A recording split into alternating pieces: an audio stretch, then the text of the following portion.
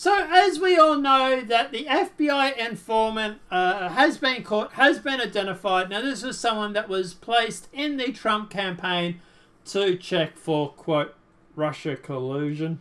Okay. Back when Trump was running for president.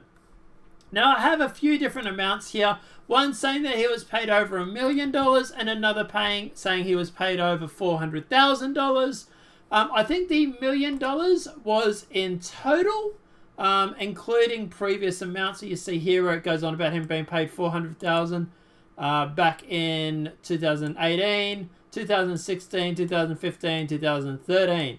So I think that's where they get that amount from. Um, so we're just going to use the 400,000 in total uh, because that was obviously when Trump was running. So let's jump into the article. But just fair warning, there have been different amounts thrown around.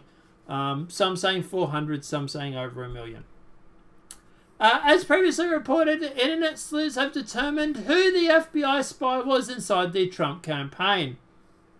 So it's been widely reported that Obama administration had a spy working inside the Trump campaign.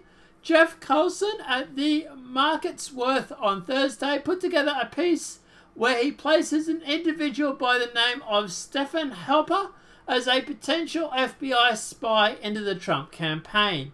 Note some believe that Obama may have had more than one spy on the Trump campaign. It was a lucrative business for Stephen Heffer, a Halper, might be mispronouncing. Internet sleuth Jacob Wohl discovered that Stephen Halper was paid 282,295 in September of 16 uh, for research and development into social sciences and humanities. It's also important because Harper enticed young George Papadopoulos to London with the promise of thousands of dollars for his assistance. So, while was uh, tweeted that Harper was the same person who invited George Papadopoulos to London, where he just happens to sit down next to the infamous Australian diplomat who was also working with the Clinton Foundation, and Harper also lured Carter Page to compromise situations involving Russians.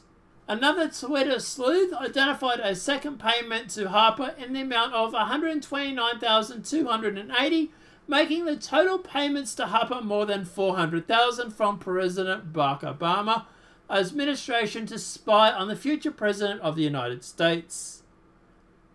Deplorable Lorry found that the deep state paid Stephen Harper made an addition 129,000, obviously as we just said for 2017. Stephen Harper was paid a total of 411,575 in 2016 and 2017 for work with the US government that includes spying on the Trump campaign. Being a deep state spy definitely has its perks. Um, so look at the end of the day. Uh, yeah, look, obviously, guys, definitely very interesting. Um, yeah, uh, we want to know why Barack Obama was administration was paying over four hundred thousand dollars to this person. Uh, please explain, maybe. Um, but yeah, guys, um, I don't know. Let me know what your thoughts are in the comment section below. Obvious question for the day. Why do you reckon they were paying him? Do you reckon he was there to try and sabotage the Trump campaign? Um, or do you think he was just there to, quote, report on Russia?